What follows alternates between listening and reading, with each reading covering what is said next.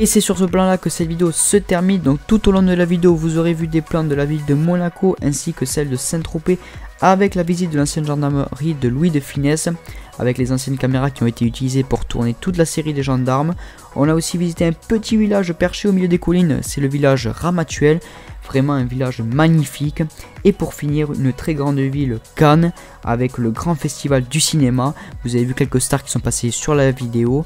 Franchement, c'est un festival qui était énorme et qui est passé en direct sur la télé.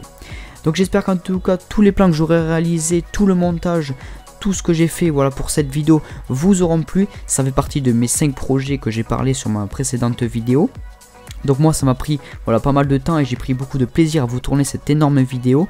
Et sur ce, on se dit à la prochaine pour une future vidéo. Salut